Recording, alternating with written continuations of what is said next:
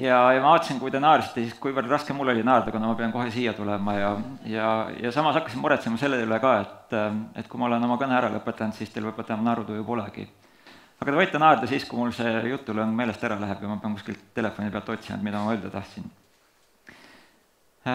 Küll aga võin juba ette vabandada seda, et, et see järgnev, ma üritan teid kaasa meelitada küllaltki kivisele rajale ja selle raja lõpus on loodetavasti üks väljak ja seal väljaku peal on kaks looma üks neist on õnnetu.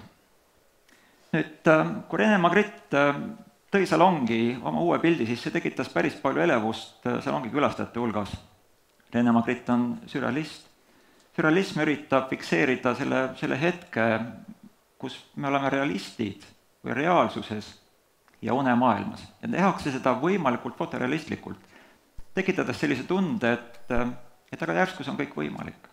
järsku ongi nii ja seetõttu meile meeldib sürrealismi vaadata, õieti võib öelda, et see meeldib meie ajule ja aju täidab keha mingi meelehea tundega. nüüd, ähm, mis elevust tekitas Rene Magreti pilt? aga öeldi, et äh, härra Magret, et ähm, teil on siin piip joonistatud, aga sinna alla on kirjutatud, et see ei ole piip, et mida nüüd silmas peate? mille peale Rene Magritte ütles, et noh, võimalik, võimalik, et ta niimoodi alustas seda juttu, et aga hea sõber, et äh, et ma tahan osutada, et sina elad sürreaalsuses. see, millele ma tahan osutada, et see, nagu sa ise ütled, tegemist on pildiga. piip on kuskil mujal, siin on pilt. ja ma lausa kirjutasin sinna alla, et see ei ole pilt või see ei ole piip. aga me loome sellise sürreaalse aru, sürre-, sürrealistliku arusaama oma argielu mõtlemistest, et me elamegi sellist sürrealismi. ja, ja siit me võime siis järeldada midagi oma mõtlemise kohta, et et miks me nii teeme? Äh, noh, teatud mõttes on täiesti õigustatud, kui me vaatame, aju on umbes kilogrammi suurune, aga tarbib ära umbes veerandi keha hangitud hapnikust ja umbes veerandi meie süsivesikute varudest. aju on väga kallis pidada, järelikult aju ta ei tasuks kasutada argistele mõtlemistele ja siis me automatiseerime argised mõtlemised, me asendame argise mõtlemise selliste lihtsate tööriistadega nagu kodused, ma ei tea, nuga ja kahvel, mida te olete võib-olla kümme, viisteist, kakskümmend aastat kasutanud, te enam ammu ei pööra nendele tähelepanu. Lähete täna õhtul koju, vaatate oma nuga ja kahvlit võib-olla seetõttu. aga te kasutate neid automaatsete tööriistadena, nad lihtsalt töötavad. ja niimoodi me mõtleme ka automaatsete tööriistadega, piip siis on piip, siis äh, mis värk on. aga mõtlemine on see, millele tasub rohkem mõtelda. sest me ütleme, et mõtlemine teeb meid eriliseks loomaks.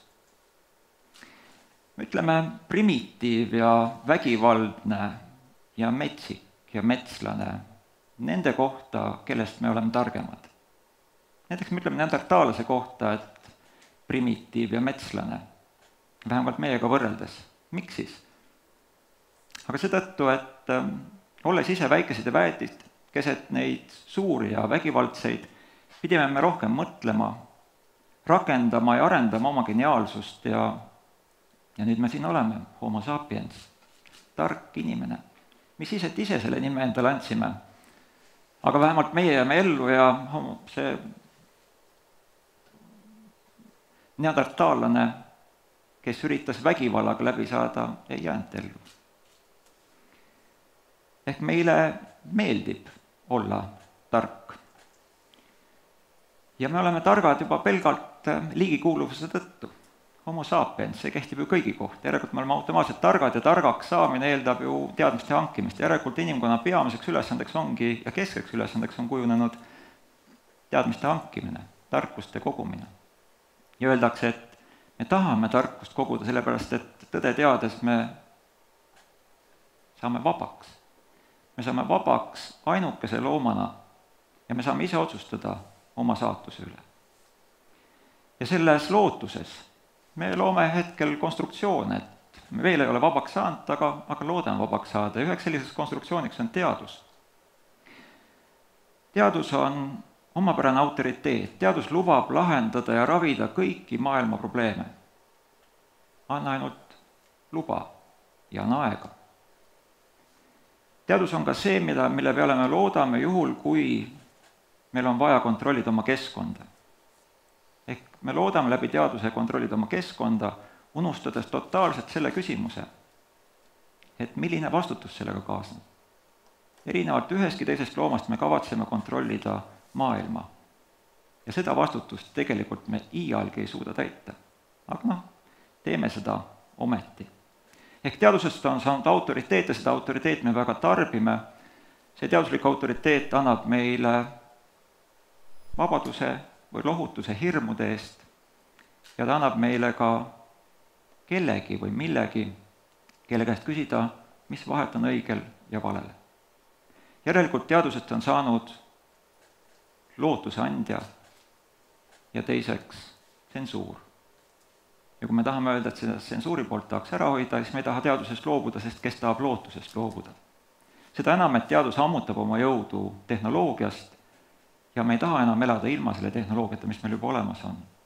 ja üleüldse, miks peaks loobuma millestki, mis on hea, sest nagu ütleb Steven Pinker, äh, tuntud psühholoog, teaduse populariseerija, ta on kirjutanud umbes seitsmesaja viiekümne lehekülje pikkuse argumendi. Argumendi pealkiri on enam-vähem tõlkes Meie loomuse paremad inglid, kus ta järeldab seda, et tehnoloogia arengu tõttu inimene on muutunud vähem vägivaldseks. ehk inimene on muutunud heaks noh, ja siis me oleme kõik ema Teresad, kuna ema Teresa on inimkonna üks liige ja kuna me oleme homo sapiens, siis me oleme kõik head, me tahame ise olla head ja ma arvan, et inimkond on samamoodi hea. ja nii, nagu ema Teresa lubab meile lahendada kõiki või ta lubas, aga ütleme, tema kajastab siin antud juhul siis metafoori või allegooriat, et ta lubab meile lahendada kõik maailma hädad, kui sa vaid usud õiget moodi. ja loomulikult sa pead siis ka palvetama õiget moodi. ja nii me siis käime ise oma kirikus palvetama ja ka ei taha olla eraldi. ja oleme küllaltki sallimatud nende suhtes, kes äh, üritavad olla eraldi, teisiti mõtelda ja me ütleme nende kohta rumal või ütleme veelgi halvemini. Ja, ja noh, me anname õiguse teatud eranditeks. ja noh, oma eriala tõttu ma ütlen, et üheks erandiks, kellele lubatakse teatud lihtsameelsust, võib-olla ka loomulikku rumalust, on sportlased et kui Matja Tund oli, nemad olid ju trennis. ja sportlastele ja üha enam humanitaaridele ehk kultuuritöötajatele lubatakse teatud sellist äh, lihtsameelset mõtlemist, emotsionaalsust, teatud loomalikkust, aga, aga ülejäänud äh, distsipliinid on tugevalt teaduslikud. vähemalt me nii mõtleme. ja me mõtleme, et äh, et teadus teeb inimese paremaks ja seega on see keskne küsimus, kas teadus teeb inimese paremaks, ehk seda saab sõnastada ka teisiti, kas teadus muudab meid moraalsemaks, ehk veelgi täpsemalt küsida, kas meie inimestena saame jätta teadvusse tegelema tõe otsimisega ja vabastada ta sellest kohustusest, et ta peaks teenindama meie praktilisi vajadusi. ja vastuseks on, et ei saa. viimati, kes uskusid, et maailma juhib tõde olid Plato ja umbes tuhat aastat hiljem Augustinus. ja kuskil tuhat kuussada kakskümmend Francis Bacon kirjutas juba, et teadmiste kriteeriumiks ei ole nende tõesisaldus, vaid nende praktiline väärtus. ja nüüd vastuseks Steven Pinkerile, me võime öelda, et aja jooksul võib-olla on inimese vägivaldsus vähenenud. aga tegelikult võiks öelda, et vägivaldsus on muutunud, ta on tunduvalt rohkem vaimsuse suunas ja selge see, et ta on vähem keha suunale suunatud ehk ta on suunatud palju rohkem inimese vastu kui inimese kui looma vastu. ja tänasel päeval meil piisab ju sellest, et meil on üks vägivaldne inimene, kelle käes on aatompomm, et lahendada kõik vägivalla küsimused. ja tõendid, kui te tahate, siis teaduslikud tõendid kõnelevad sellest, et inimene on äärmiselt vägivaldne, agressiivselt impulsiivne, enese ja teiste hävitaja ja nüüd ma võtan appi kolm mõtlejat, just sellepärast, et need mõtlejad on tõesti mõtelnud ja tahavad olla need inimesed, kelleks me iseennast peame. ja arvatavasti nendes on vägivalda, aga nad on suutnud seda, selle vägivalla suruda niivõrd palju allapoole, et, et neid nimetatakse zen-budistideks. ja ma loen nende kolm mõtet. eelmise sajandi kuulus zen-budist Koto Savaki väitis, et inimesed on idioodid põhjendus on lihtne, esmalt näeme kurja vaeva enda targaks tegemisega, et asuda seejärel sooritama rumalusi. teaduse arengust hoolimata oleme kaugel väärika suursuguse iseloomu saavutamisest. nii kaugel, kui mäletame, oleme alati omavahel sõdinud ja põhjus on selles, et ükskõik, kui kaugele me teaduse saavutused ka ei ulatuks või ükskõik, kui olulist sõda me ka ei peaks ning mingist suurest tsivilisatsiooni võigust, võidust ka ei räägiks, oleme oma vaimus tühised ning väetud olevused, kes elavad lõputut kassi ja koera elu. Koshu Shiyama, teine zen-budist, soovitab eristada inimese arengu teaduse arengust ja ta kasutab niisugust väljendit nagu grupirumalus, mis seisneb masside imetluses kaasaegsete saavutuste üle ainult et massid ise ei ole arenenud, sest nad on arendanud masinat. Masin, mille abil tahetakse saavutada kõike ilma, et peaks ise midagi tegema. ja selle viimase nimel ollakse valmis võitlema. paraku ei tee see arenenud masin mitte midagi muud, kui toob inimese arenematuse kiiremini päevavalgele. mistõttu ongi vaja eristada inimese arengut masina omast. ja kolmas zen-budist kes praegu elab, need kaks surid eelmisel sajandil ära, nii et nad väga kaugelt ei olegi pärit, aga Shohaku Okumura finaliseerib oma meenutustega lapsepõlvest, kui ta kuulis koolis ning vanematelt selgitusi, nagu oleks kõik kannatused ning häving põhjustatud teadmatusest. ning maailm muutub teaduse arenguga aina paremaks. ning siis ühel päeval saavutab teadustaseme, milles kõik hädad lakkavad olemast. seni aga peab lihtsalt pidevalt õppima ja õppima ja võib-olla tänu õppimisele või selle kiuste märkaski ta vanemaks saades, et suurte hädade põhjuseks on ülbus, uhkus, solvumised, viha ja vimm, ja mitte keegi ei paista teadvat, kust need pärit on. aga me teame, et need ei tule masinatest. juhul, kui keegi kauge aja tagune isik saabunuks meie aega, üllatunuks ta kindlasti nende tehni-, tehnoloogiliste saavutuste üle mis me oleme teinud. aga ta üllatuks ka selle üle, kuivõrd vähe inimene on muutunud. isegi kui teadus on hea, siis äh, inimene ei pea hea olema. ja meil on märke selle kohta, et see nii vist ongi. ja ma võin öelda, et inimene on irratsionaalne. et kui me vaatame tähistaevasse, siis mida me näeme? noh, ma ei tea, mida me näeme. aga teadlased ütlevad, et, et sa näed musta ainet, kusjuures mitte ükski teadlane pole ise musta ainet näinud ega ta ei tea, kus see asub. aga ta ütleb et, et kaheksakümmend protsenti universumist on täidetud musta ainega. ja oletame nüüd, et Rene Magritte pildi, mis on detailselt foto, fotolise täpsusega must pind ja on suurte tähtedega kirjutatud, see ongi must aine. ja see oleks tõeline sürrealism. juhul, kui äh, maailma juhib tõde ja meile on antud voli see üles leida siis meid oleks varustatud paremate silmadega, kõrvade ja mõistusega. aga seda meil ei ole. Miks? sellepärast, et tõenäoliselt on evolutsiooniline eelis mitte kõike teada.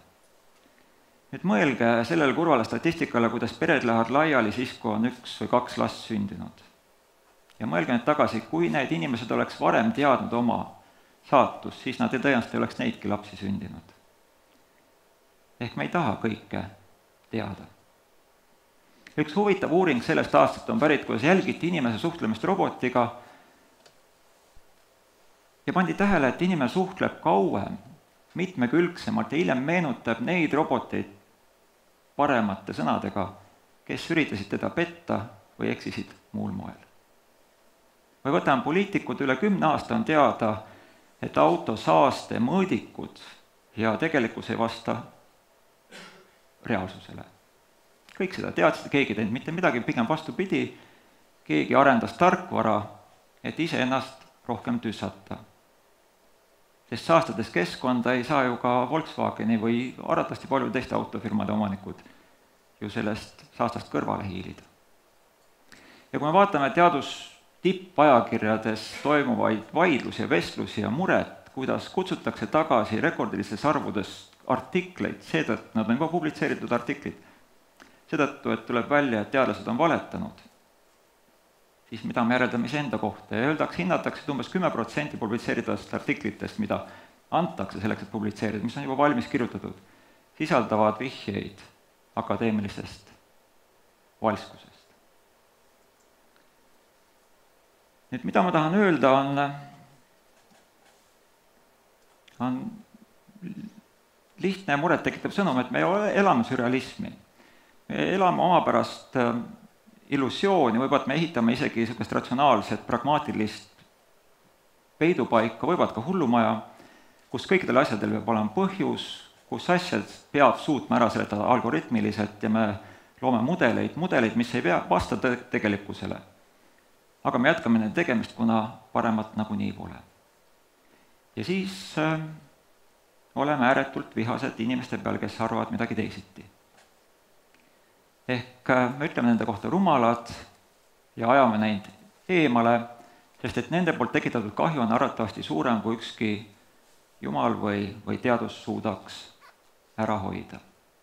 aga võiks mõtelda ka teisiti. hollandlane Matthis von Boxel pöörab, ta on kogunud hästi palju materjali inimeste, kes, inimlikest eksimustest ja ta pöörab siis tähelepanu, et ja äh, ette ta väidab isegi, et ükski inimene ei ole niivõrd tark, et mõista iseenda rumalust. ja ta ütleb, et probleem ei ole mitte selles, et, et meil puudub intellektuaalsus, ehk meil puudub võime lahendada ülesanded, vaid probleem on selles, et äh, meie mõtted on eksinud. Nad on täis hirmu ja mugavuse otsinguid. ja Mattis von Boxel siis ütleb, et äh, et rumalus ja rumaluse vastand ei ole teadmised ega tarkus. ehk ka tark võib olla rumal ja ma toon ühe kauge näite, et me praegu ennast tunneksime natuke mugavamalt, et see on Ptolemaios kirjeldas, vaatas taevast, täistaevast ja kirjeldas taevakehade liikumist ja ta lõi mudeli selle kohta. ja järgmised teadlased vaatasid taevasse, leidsid mingeid täiendusi, täiendasid kogu aeg seda mudelit. ja niimoodi täiendati, täiendati, tuhat viissada aastat maailma parimad teadlased täiendasid Ptolemaiose taevakõiksuse mudelit ja juhul, kui leiti selline erand, mis, mis mitte kuidagi kokku ei sobinud, siis öeldi ka, öeldi, et aga jumalal ongi õigus teha erandeid, et see on jumala mängumaa. ainult et algusest peale oli talle Maiuse mudel vale. tuhat viissada aastat me oleme nii teinud. ja pange tähele, kui te nüüd tähelepanelikult ümberringi vaatate, siis te näete neid inimesi, kes praegu ka, neid, keda rehabiliteeritakse seetõttu, et neid on kogu aeg lolliks peetud, nad on olnud kuskil kuskil piirimaal, ehk nad ei ole sobitunud selle põhimaastikuga, seega tark inimene võib olla rumal, ehk ta järjepidevalt annab vale tulemuse. Ja see on ju rumal. ja mida, mida Boxel soovitab mõtelda, on see, et, et rumaluse vastand ei ole mitte tarkus, vaid rumaluse vastand on siis mitterumalus. see on hirm teisiti mõtelda, mõtelda väljaspool kasti, mõtelda julgemat ja samas meile antakse indikatsioone, et need väljaspool kasti mõtlemised on selline nagu tahtmatu energia, mittekonventsionaalne energia, mis tihtipeale annab häid omadusi, häid tulemusi. ja paljud teadlased on ignoreerinud neid teaduse poolt ette pandud raame, nad on ignoreerinud, nad on tõrjunud, nad on naeruvääristanud neid ja neid on vastu naeruvääristatud, aga nad on olnud niivõrd julged, et nad ei ole oma rumalusest loobunud. nüüd teadus teatud mõttes on iseenda lõksus ja see lõks on, on osaliselt selles, et, et me loodame teaduse teel leida lahenduse maailma probleemidele, aga samas aja, samal ajal me teame, et, et teadust ei kasutata tõe otsimiseks, vaid teadus on tunduvalt sagedamini näiteks perele leiva laua, lauale toomise vahend, teadus on tunduvalt sagedamini instrument ettevõtluse või poliitiku käes. ja teadusest on kujunenud omamoodi siis keeldude süsteem, mis ei lase inimestel rumal olla. ja kui me oleme sellises mugavustsoonis, siis selles mugavustsoonis tegelikult me kasvatame seda hullumaja edasi ehk me loome illusiooni, küllaltki sürrealistlikku illusiooni, et äh, kõik on hästi. aga selleks, et mugavustsoonist välja murda, me peame pingutama mitte mugavustsooni säilitamise nimel, vaid tõesti tegelema vastupidiste ettevõtmistega. ja lõpuks, kuhu ma tahan välja jõuda, on see, et et ma ei ole siin moraalitsemas vaid äh, pigem esitamas küsimuse, et mida tähendab siis inimeseks olemine, et, et kas me julgeme olla inimesena vabad. sest paistab, et, äh, et tõe teadmine ei muuda meid vabamaks, pigem me tunneme ennast vabamalt, kui me suudame vältida tõe teadasaamist. ja sellise liigi käes teadus ei tekita midagi muud, kui sünnitab üha uuesti ja uuesti inimlikke tragöödiaid, ainult pidevalt uuenevas vormis. me näeme igal pool mujal maailmas ka, et seda on, Jaapanist tuleb, seda on lähikonnast, aga meil ka, on humanitaariast loobumine. humanitaaria ei ole teadus. et äh, humanitaariat võib mitte koolitada, mitte õpetada.